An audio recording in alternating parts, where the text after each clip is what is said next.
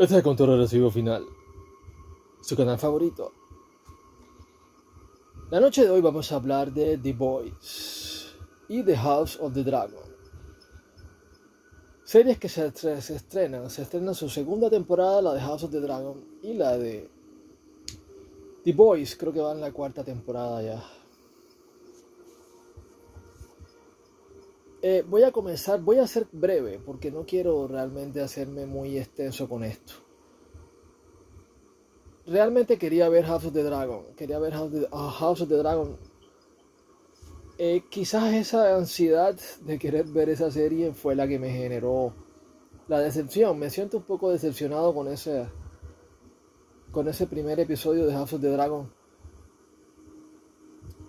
eh, llevaba tiempo que no veía House of the Dragon. O sea, creo que la vi cuando salió en aquel momento. No recuerdo qué año fue. 2023 fue. 2022. Creo que fue 2022.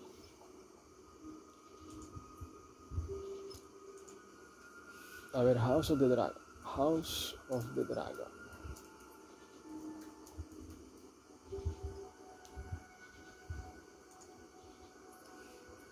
La Casa del Dragón se llama. Serie de televisión británica, británica, de fantasía, dramática. Británica, ¿cómo no? ¿Cómo no que británica? ¿Cómo no? Ryan Condal. Ryan Condal no dice nada de él. George R. R. Martin para HBO. Precuela de Game of Thrones. A ver. Eh, ¿Qué año fue? 2023, agosto de 2000. Ah, no, 2022, dice acá, agosto de 2022. O sea, hace casi dos años, hace un año y pico. Entonces yo estaba viendo esta serie de House of the Dragon y me... El episodio nuevo y me decepcionó, o sea, siento que los personajes no tienen carisma. Siento que no es como tú ves cuando tú ves Game of Thrones, que tú ves al Littlefinger, que tú ves al Varys que tú ves a Eddard Stark, que tú ves al Jon Snow, que tú ves a los Lannisters, a los Stark.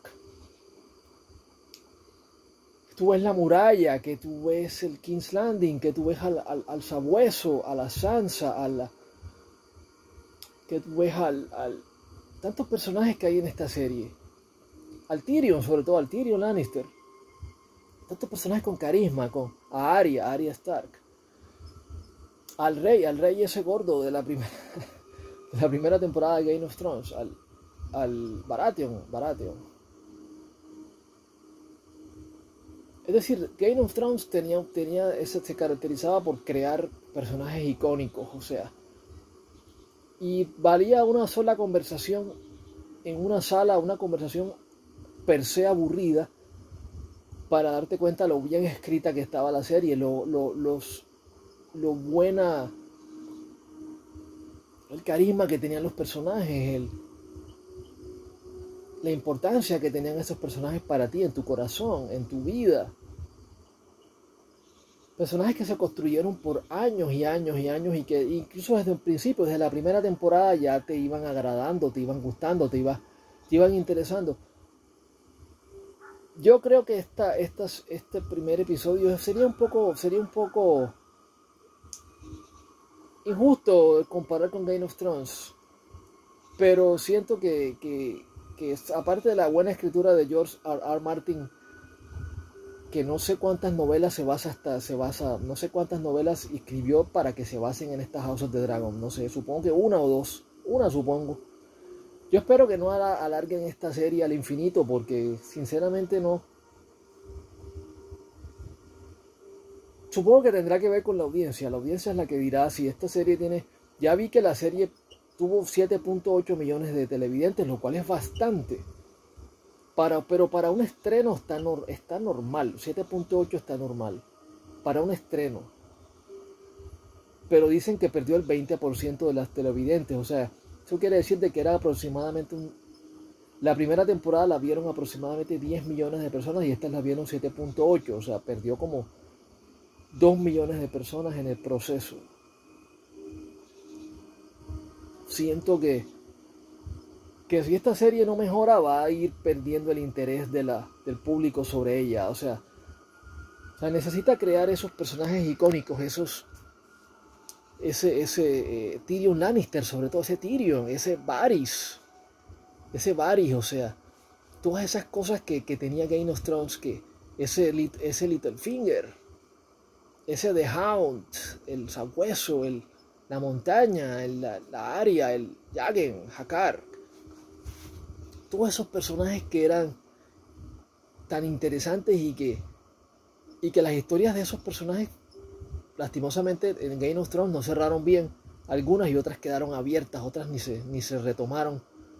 La del Dario Naharis, por ejemplo, tantos personajes interesantes, pero que tú ves que, que, sostenían la serie, que una simple conversación era el Don, el don Darion, el, la, la Melisandre, incluso el Stannis Baratheon, el Stannis, o sea, tantos personajes. La, Game of Thrones era una serie que se caracterizaba por crear, era una fábrica de crear personajes icónicos, era una fábrica de crear personajes icónicos y, personajes que te, que te, agradaban desde un principio, que te, que te, que te caían en tu corazón ya, que te, que te interesaban, que, era, que lo importante es que te interesaban, que, te, que, tú, que tú, que te, te interesaras por ellos. Acá, en House of the Dragon yo veo que eso pasa poco, la verdad. O sea, no es igual, o sea, Sé que es injusto la comparación y las comparaciones son odiosas, pero, pero yo espero que, mejoren eso, o sea, porque sinceramente si no crean personajes icónicos, sobre todo el, el, único, los pocos personajes icónicos que yo he visto acá, el tipo de Doctor Who, protagonistas, a ver. Este, Matt Smith, Matt Smith, el tipo que salió, creo que este salió en Doctor Who. Este era el que salía en Doctor Who, Dice, Doctor, un décimo Doctor. Smith fue anunciado para el papel de un décimo Doctor. La serie de ficción británica Doctor Who. Bueno, el que sea Doctor Who, este tipo se ve que tiene carisma. Es de los pocos que tiene carisma ahí. Me gustaba mucho esa actriz Millie Alcott, la que tenían de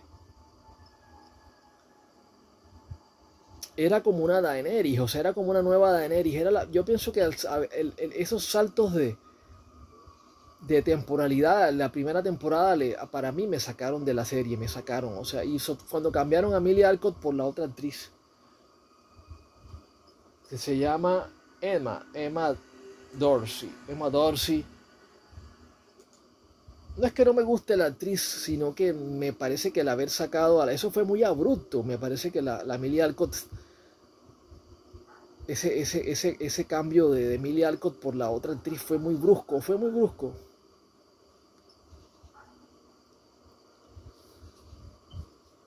Y los cambios de temporalidad me parecieron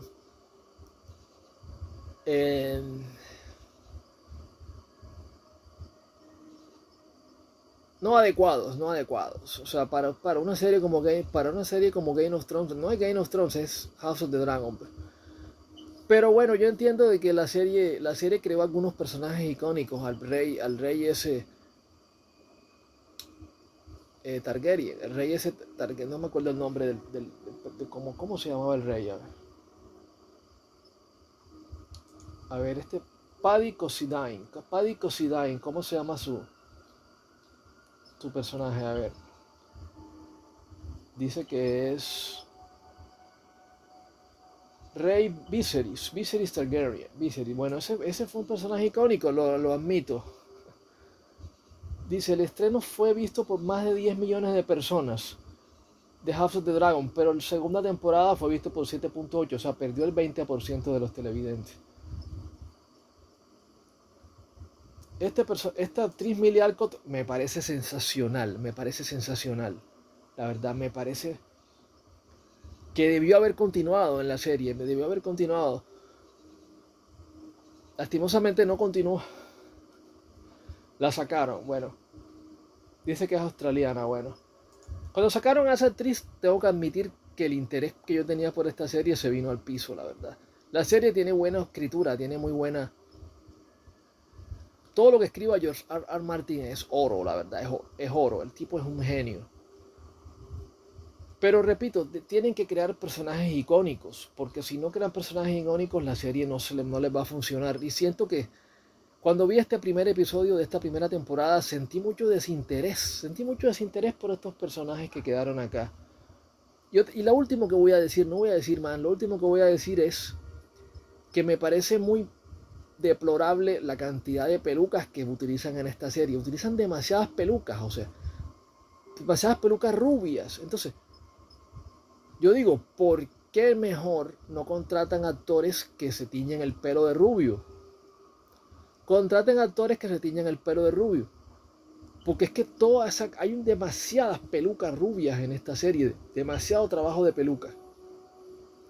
Y se notan, es lo peor. Se notan demasiado, se notan. E incluso el personaje que, que me gusta mucho, que es el, el que hace el Doctor Who. El que hace el Doctor Who Matt Smith, Diamond Targaryen, ese personaje con esa peluca se le nota demasiado. Se notan demasiado esas pelucas rubias, o sea, entonces tú, tú ves que cada que hay un rubio, tú ves que es una peluca, o sea, ninguno tiene el pelo natural. Y tú veías que en Game of Thrones varios tenían su pelo natural. Algunos tenían peluca, obviamente, sí, pero como ahora, ahora todos son rubios, todas estas pelucas son rubias, entonces se nota demasiado. Y lo de los afroamericanos, los afroamericanos, vamos a ver si encuentro los nombres de alguno de ellos. A ver, no encuentro todavía ninguno.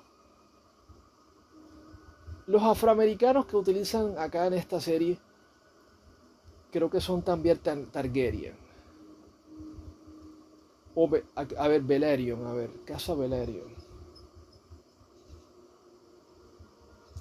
A ver, afroamericano de afroamericano de, de House of the Dragon. Vamos a buscar el que matan en la primera temporada. Afroamericano de House of the Dragon. Aquí vamos a buscarlo para ver. Los colores característicos de la casa Targaryen durante la época que Aemma Arryn reinaba junto a Viserys el reino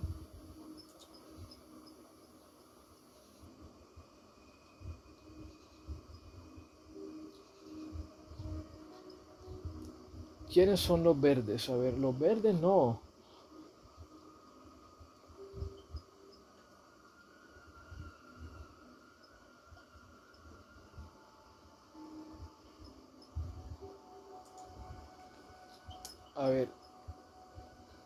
Sea, no me refiero a esto, la verdad.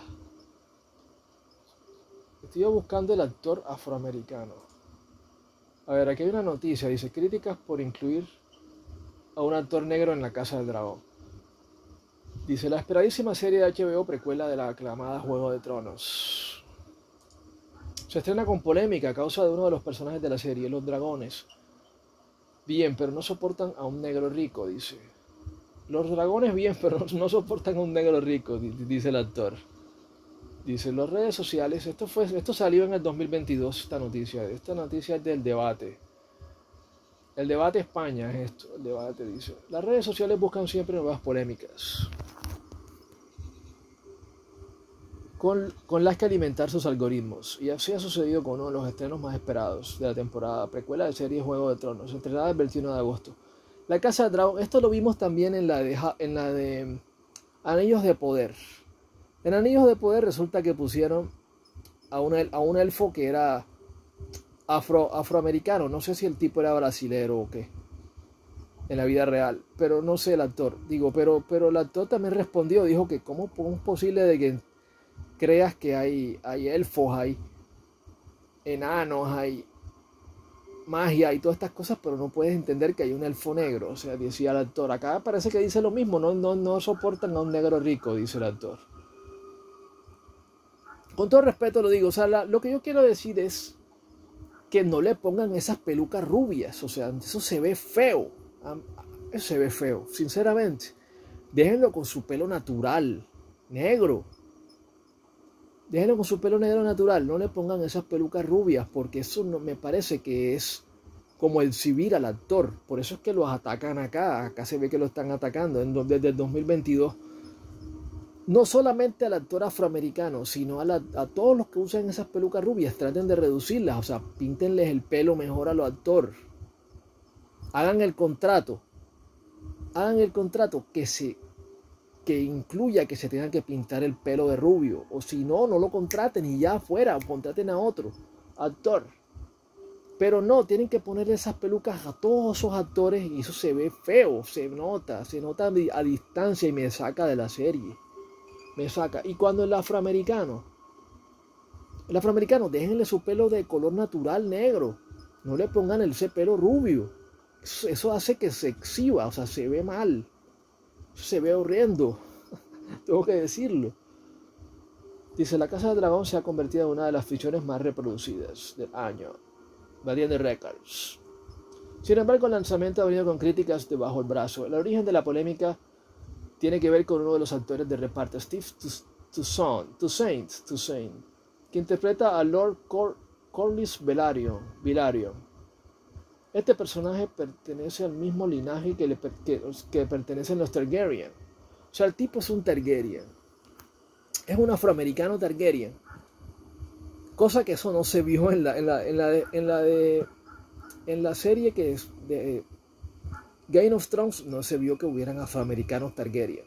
Y de hecho se vio de que los Targaryen eran tan enfermizos que se casaban entre ellos, entre hermanos, para mantener el linaje. Entonces es como contradecir un poco el tema de, la, de los Targaryen. O sea, yo entiendo la crítica, no entiendo la crítica no es, no, es dar una, no es dar una crítica por darla, es decir, pero ¿cómo así? O sea, en Game of Thrones eso no se vio.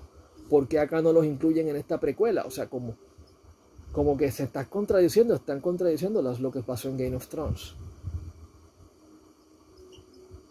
Pero yo lo que digo es, o sea, eso se, eso se podría explicar, o sea, se puede explicar de alguna manera, se puede explicar, de pronto, se puede explicar, estos eran esclavos que se liberaron se liberaron y reclamaron el apellido Targaryen ya. Ya así se explica, ya tan fácilmente se explica. Eran unos esclavos que se, que se liberaron y se, y se, se volvieron, se volvieron, este, se revolucionaron, se, se liberaron. Eh, se, se, encontraron su independencia y, tomaron el apellido Targaryen. ¿Por qué no? ¿Por qué no se puede pensar eso? Pero déjenles el pelo negro, su pelo natural, su, su barba natural negra ya. No le pongan esa, esas pelucas rubias, que eso hace, lo que hace es exhibirlo al actor y a la, a la trama. Que como eso no se vio en Game of Thrones, y supongo que en los libros eso tampoco sale así. Pero me parecía que, se puede buscar otra forma ya, no de esa manera. De ponerle las pelucas rubias ahí a todo el mundo, incluso a los, a los actores afroamericanos como este que está acá, dice, por lo que los seguidores han dado por supuesto que debería tener ciertos rasgos físicos la apariencia del actor no concuerda con la pálida, cabello rubio y ojos claros. O sea, es obvio que no concuerda. es obvio, es obvio. Por eso es que los exhiben, los exhiben. ¿Y para qué exhibirlos de esa manera? Déjenlo con su pelo natural, negro, ya. Es un Targaryen, pero de un origen diferente. De un origen diferente. un, linaje de esclavos que se liberó y que, y que tomó, y, tomó el poder y son, son poderosos y son fuertes en lo, en, con, su, no importa que sean, este, que hayan venido de esclavos, o sea, tomaron su, su, su, tomaron las armas y se liberaron con su, con su ingenio, con su poder.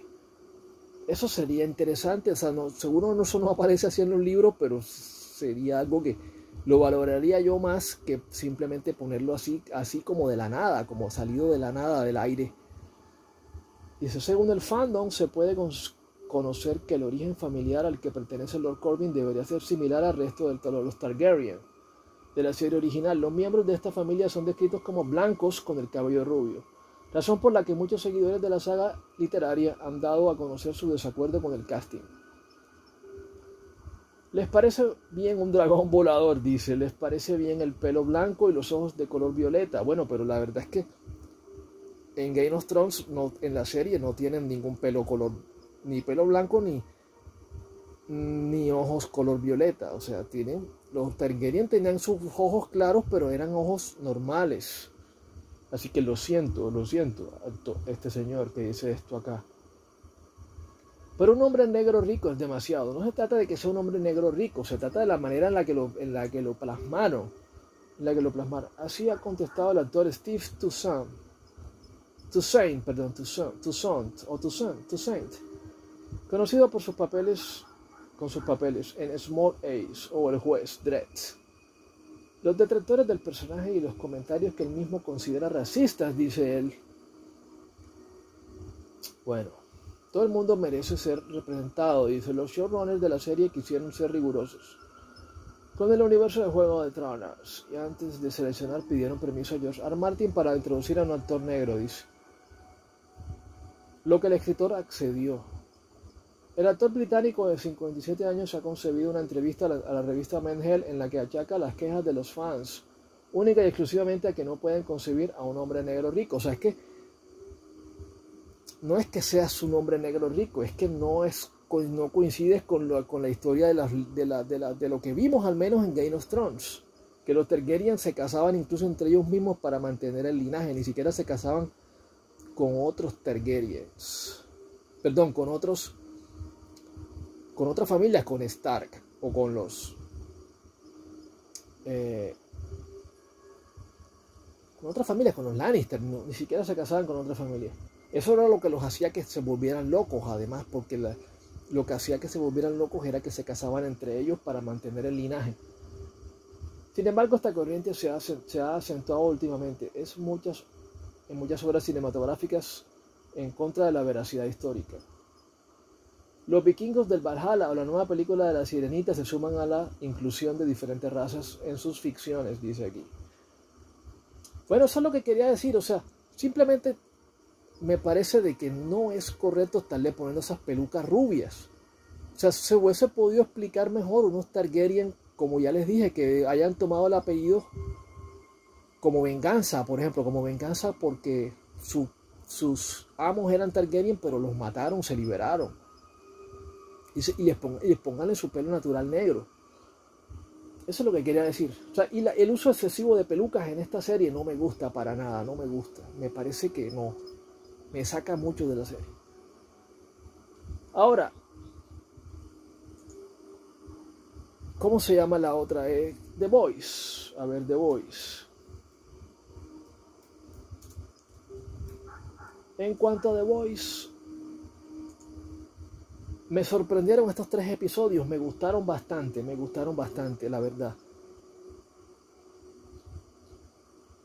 son muy entretenidos, son muy entretenidos. Esta es una serie que es muy entretenida, la verdad, muy entretenida.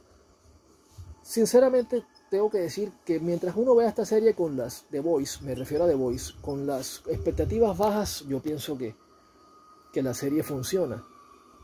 O sea, si tú, si tú tienes muchas altas expectativas con The Voice, te vas a decepcionar. Es una serie que es para burlarse de los superhéroes, para burlarse de Superman para burlarse del hombre blanco, del hombre blanco americano, prácticamente. El republicano blanco, blanco que llaman el redneck o el blanco. O sea, es una serie entretenida, pero más nada. O sea, es una serie que es cabeza hueca.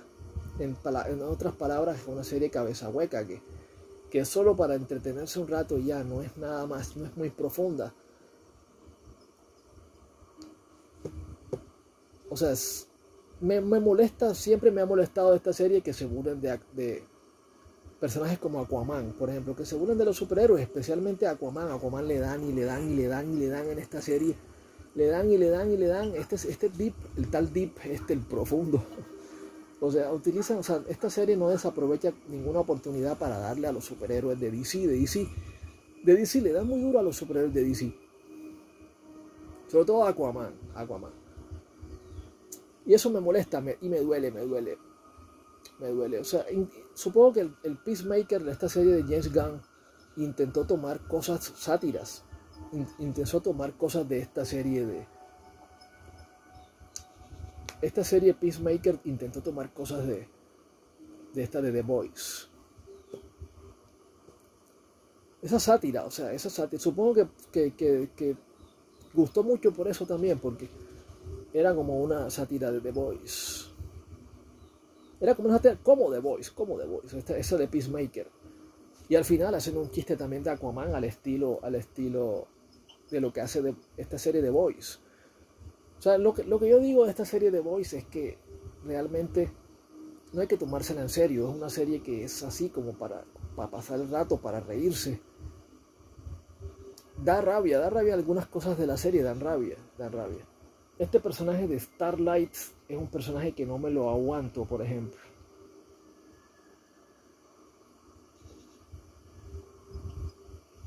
January se llama.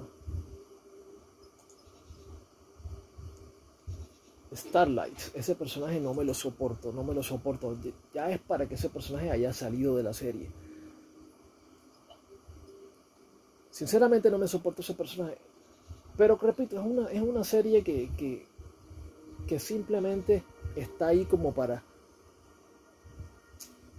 eh, con los años ya uno, ya yo, ya yo ni siquiera le, ya yo no le sigo ni el hilo a la serie, simplemente la veo como por, para reírme ya, o sea, no sé ni, ni, ni de qué va la serie, no sé ni qué es lo que plantea,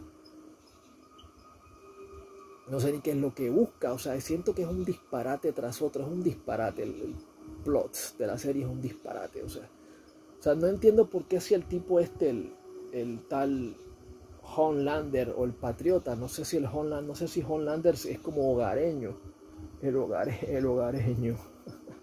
El Homelander, el Patriota, este, no entiendo qué es lo que ese tipo quiere, o sea, quiere ser el presidente del mundo, quiere ser el dueño del mundo, o sea, como que ya no se entiende qué es lo que el tipo busca, o sea, la serie ya está demasiado extensa siento que ya debió haberse acabado esta serie. Afortunadamente ya, le, ya dijeron que la próxima temporada es la final. Pero siento que pudo haber sido esta la final, o sea. Es decir, apenas, apenas he visto tres episodios, me ha gustado bastante lo que he visto. Me ha gustado, me ha entretenido. Es una serie entretenida, una serie que me saca una sonrisa, la verdad. Pero que tiene un humor muy bizarro, un humor, muy, un humor negro, un humor ácido, un humor un humor que me parece interesante, pero que al fin y al cabo eh, em, al fin y al cabo es solo eso, es solo una serie de humor, una serie de una sátira para burlarse del hombre blanco. Es, una burla muy grande al hombre blanco, o sea. este, y he visto ingredientes que llamarían de inclusión, de inclusión, lo que llamarían woke, ingredientes de inclusión es raro como este personaje de Patriota, de Homelander, este personaje de Anthony Starr, Homelander, este personaje no. Incluyeron a, incluyeron a un, nuevo, a, a un nuevo personaje que es la mujer y que es la mujer más inteligente del mundo, que no es la mujer más inteligente del mundo, sino que es la persona más inteligente del mundo, o sea, es más inteligente que los hombres, dice ella, dice ella. Entonces, ahí uno ve ya la, la inclusión forzada, la, las temáticas woke, la, cosas que uno no ve a nadie que se queje, uno no ve a la gente se queja de estos influencers, se quejan de Star Wars. Se quejan de Star Wars porque es fácil quejarse de Star Wars. Es fácil porque la gente conoce Star Wars, la gente se identifica con Star Wars. Pero como es acá de The Voice, esto, como esta serie no la ve nadie, la serie no la ve nadie, entonces acá no se quejan, acá no aparecen los influencers a decir, oh, The Voice es woke, The Voice es woke. No, no, porque eso no les da rédito, eso no les da dinero, eso no les da visualizaciones, eso no les da algoritmo, no, aparecen en el algoritmo de las visualizaciones. ustedes saben que estos tipos influencers son unos mercenarios, o sea, ellos están es por el dinero, ellos no les importa la audiencia, ustedes no son importantes para ellos, para estos influencers. Ellos lo que les interesa es el dinero. Esos se mueven solo por el dinero, no por más nada ustedes no les importan, ustedes no les importan a los influencers en lo absoluto, no caigan en la trampa de pensar que ustedes les importan. Ustedes no les importan, lo que a ellos les importa es el dinero. Cuando se corta el flujo de dinero, ahí sufren, ahí sufren los influencers, ahí sufren. Entonces quiero dejarlo ahí, quiero dejarlo ahí.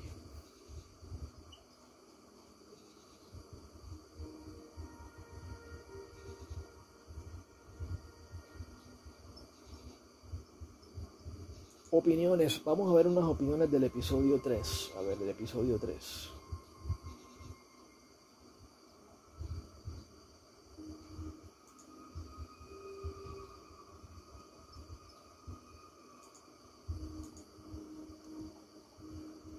Nadie le pone un 1. Nadie le... El episodio 3, que fue el mejor, dice aquí. A mí me gustaron los tres, pero No, dice, no para, para mí, esto no es para mí, dice. Dice Alexis. Alexis, Alexis Lalas. Alexis Lalas. Alexis, a ver. No, esto no es para mí, dice. Ok. Estoy hablando de The Boys. Ojo, The Boys. The Boys. Ok.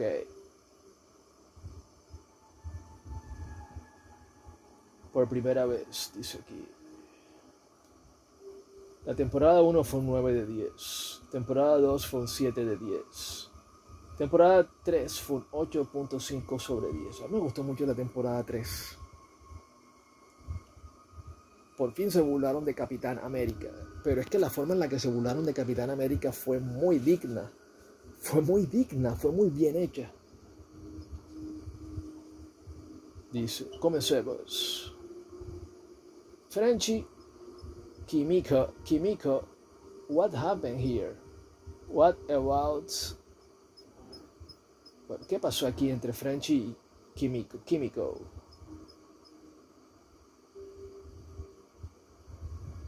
Los dos tenían el, el lazo más fuerte, pero el showrunner tiró eso a la basura en un abrir cerrar de ojos. Huey y Starlight. ¿Qué pasó aquí? ya ni siquiera están juntos anymore. Ya ni siquiera están juntos anymore. Huey Starlight. Huey.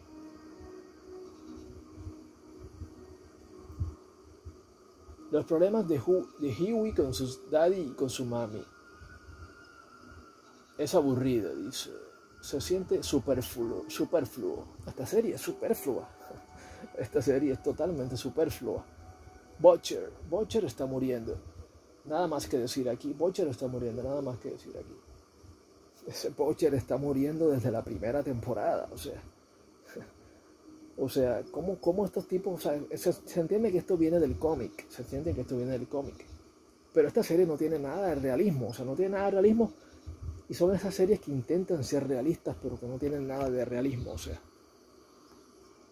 Uno no puede tomar esta serie como Watchmen. Watchmen era una joya, una joya, una obra maestra de la literatura, o sea, estaba perfectamente bien escrita. Esto, en cambio, no está, no está bien escrito, o sea, esto es simplemente una, una, una tomada de pelo, una, una burla, una burla al televidente, o sea, una burla al televidente que tú tienes que tomártela como tal, como que se están burlando de ti y de los cómics, y de tu gusto por los cómics, de tu gusto por los superhéroes, tu admiración por Superman. Tú ves esta serie y tú te das cuenta que se están burlando de ti. O sea, ¿cómo sigues a un, cómo sigues a un Superman? ¿Cómo puede ser un admirador de un Superman? Si es un tipo que lo tiene todo, tiene todo, que puede... Pero esa, es la situación, o sea, uno, esta serie de The Voice para mí perdió toda credibilidad. Ya a estas alturas perdió credibilidad porque uno no entiende ese Homelander qué es lo que busca. ¿Qué es lo que busca ese tipo? Que una relación con el hijo, ¿Qué es lo que busca Homelander? O sea, no, se entiende. O sea, tú ves que Superman, por ejemplo, Superman es un tipo que pudiera acabar con todos sus, con todos sus villanos en 5 segundos. En 5 segundos puede Superman acabar con Lex Luthor, con Bizarro, salvo Darkseid. Salvo Darkseid con todos sus otros enemigos, Superman puede acabar con todos ellos. pero no lo hace porque y pues, pues, pues, puede tornarse en un dictador, en un fascista, pero no lo hace porque es una persona buena, es una, es, una persona de buen corazón.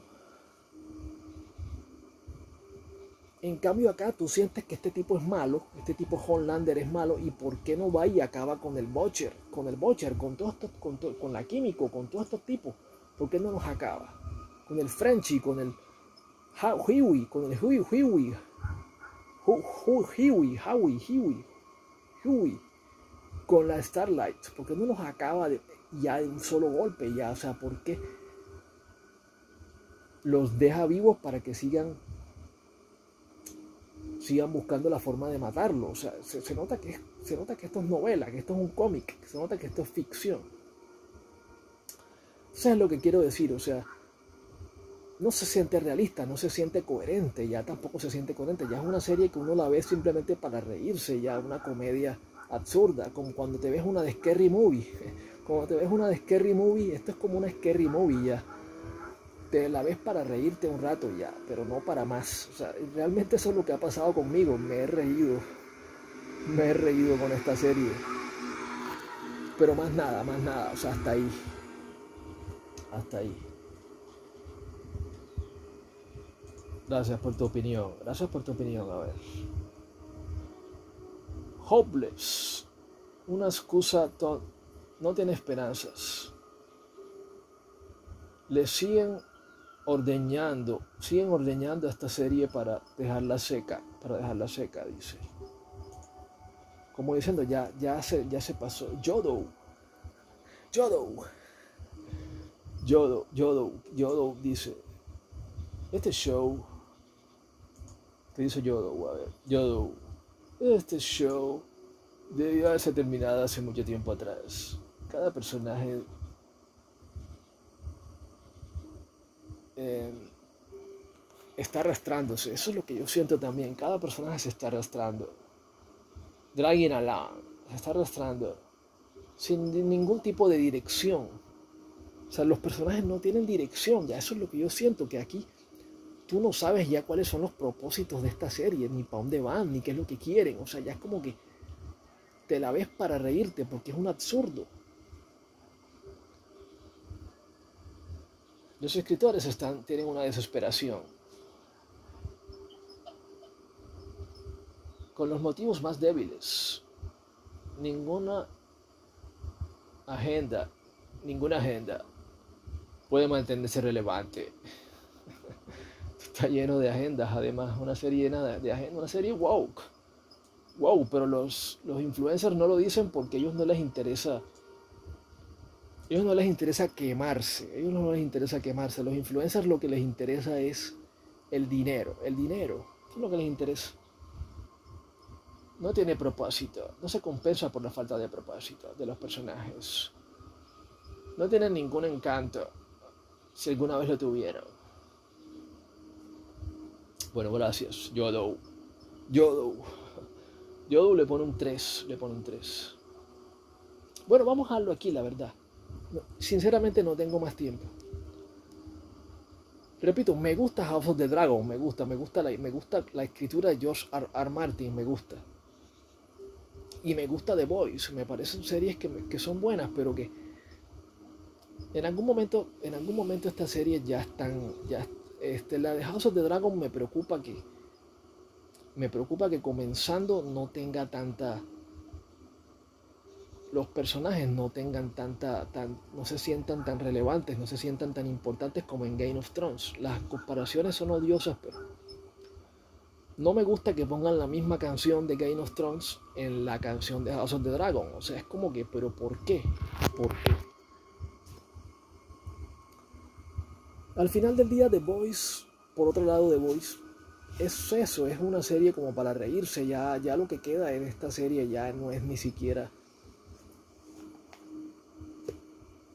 Ya uno entiende que es, la, es burlarse del hombre blanco americano, ya. Burlarse del hombre blanco americano y de aquellos que son fanáticos de los superhéroes, ya. Eso es todo lo que busca The Voice. A estas alturas. De pronto en un principio tenía otra ideología, pero a estas alturas ya no busca más de ahí. Y bueno, este es el control regresivo final. Con el favorito. Hoy The Boys y House of the Dragon. Seguir, intentaré seguir viendo esta serie hasta, hasta que se acaben. No sé si hablaré de ellas de nuevo, pero hasta aquí va este show el día de hoy. Espero que lo hayan disfrutado. Si se identifican conmigo, bien. Si no, bueno y hasta la vista.